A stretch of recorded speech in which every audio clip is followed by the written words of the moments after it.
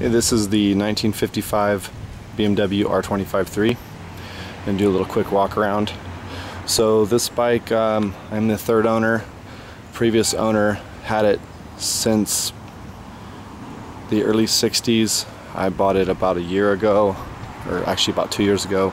This bike was restored in around 1980 and then it was ridden just a handful of miles and then it was put into I guess what you would call a hibernation type state um, by the previous owner and stored on display inside his house. So it sat in a climate controlled area for many many years until when I purchased it and um, put it back on the road what I did is um, previous owner helped me over the course of a week or so along with some advice of some very notable BMW um, people in the BMW community such as Vech. Um, if you know anything about BMW I'm sure you've heard of him, heard of him. Um, he used the proper oils and everything to replenish everything. Everything was inspected as far as the motor and stuff before we started it up.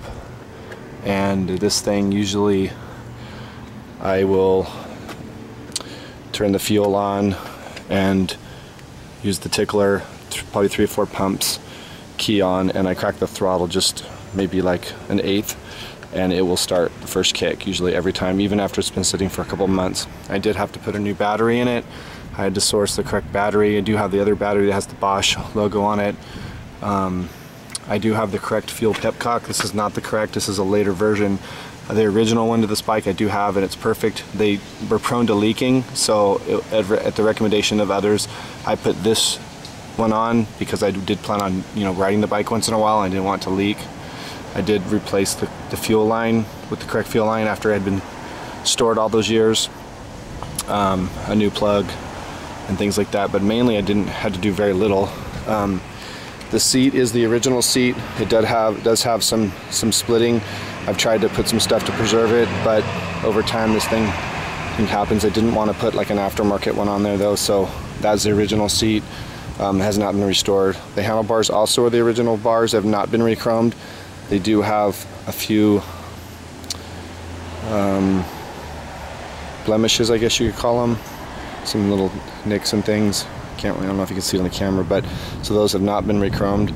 The pipe is also not been rechromed. It does have discoloration from heat. Um, the chrome through this area is a little poor, some scuffing where the foot would hit. The rear pipe is perfect, um, not no dings or anything like that.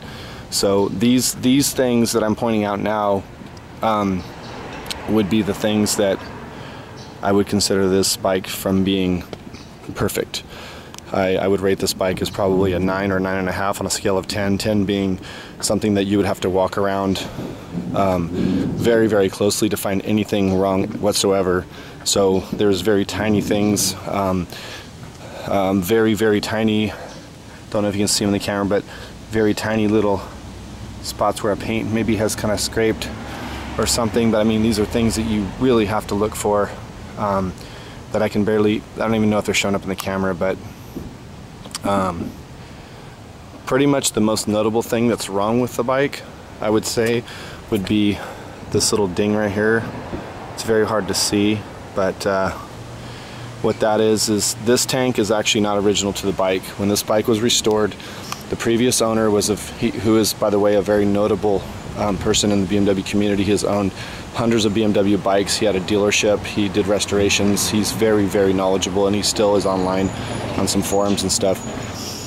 And uh, he had a new old stock R25/3 gas tank that was factory painted from BMW, and he chose to put that tank on the bike instead of using the original tank. So this tank is not original to the bike, but it is a new old stock painted tank from BMW. So this is unrestored paint, which is you know pretty much almost perfect with the exception of this.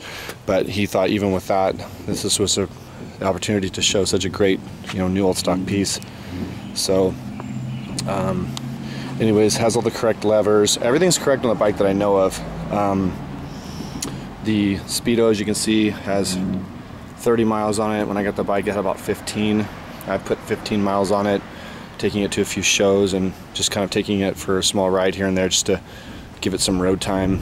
Um, the original, you know, key, of course, it has a mirror, which is probably an accessory. It's an Albert. Um, up a swan neck, I guess you would call it. I'm not sure. I think the guard is like an optional thing. I'm not sure if it came on the bike. Has the original headlight, Bosch, um, glass lens. All the lights work. The Euro lamp and the headlamp and everything works as it should. Um, it has Metzeler tires on it. They're the correct um, size and everything. These tires are 25 years old or so. They're they're no not real brittle. They're still pliable.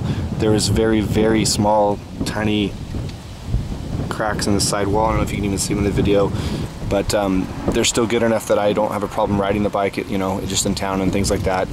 Um, but they're pretty much brand new. I mean, they only have 30 miles on them, so.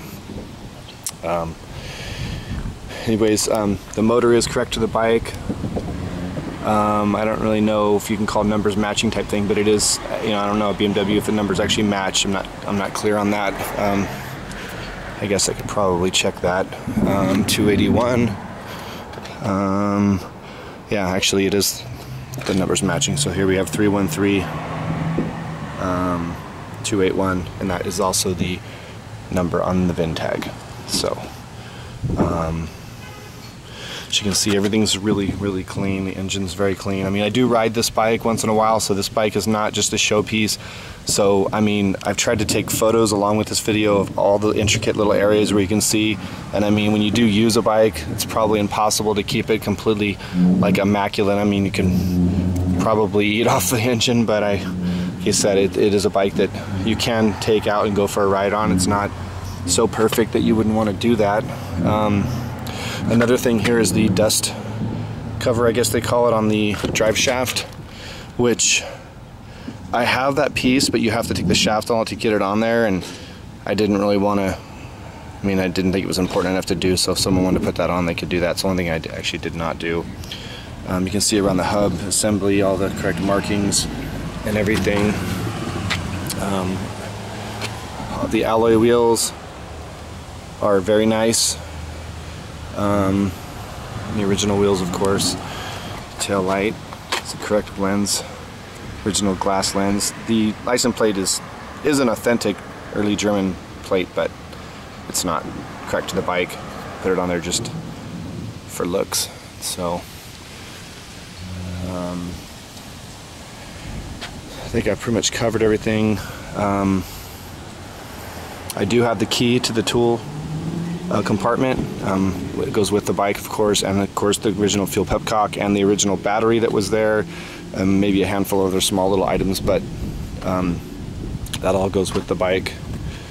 Um, as you can see, the VIN code R25/3, the year 1955, and then of course the VIN number, which is 313281. Um, so, as you can see, the bike is in excellent shape. Hopefully I've covered everything. If there's something I haven't covered or if you have questions about the bike, um, you're, feel free to email or call me um, and try to answer as best of my ability. I do have contact with the original owner and um, so we we do keep in contact once in a while and I can try to get any questions answered that I cannot answer but um, see like around the controls here there's some dust there, but tiny little, I don't even know if you can see them, but just some tiny little, just little things just from, these are the original controls. These have not been repainted. So the, the thing is, there's a lot of pieces on this bike that if they were in to a certain standard or higher, he would just reuse instead of, you know, rechroming or repainting or whatever. So if it was a piece that was a nice shape that, you know, was above a certain level to his opinion, then he would reuse it. So um, so that's the bike. Again, if you know anything about R25s, they, these were um, the bread and butter of BMW's production um, after World War II, and and they're They were pretty common in Europe, but they're very rare in the United States. I don't very rarely see any for sale. So it's uh, it's a great um, piece of BMW history, and it's a great bike to ride. It's very smooth when I'm riding it. It's it's um, it is really really smooth. It's probably one of the smoothest bikes I own. I own many vintage bikes, some Japanese, some German, um, British, things like that. And this bike is probably one of the smoothest bikes I own as far as the way it rides down the road. It's it's very smooth.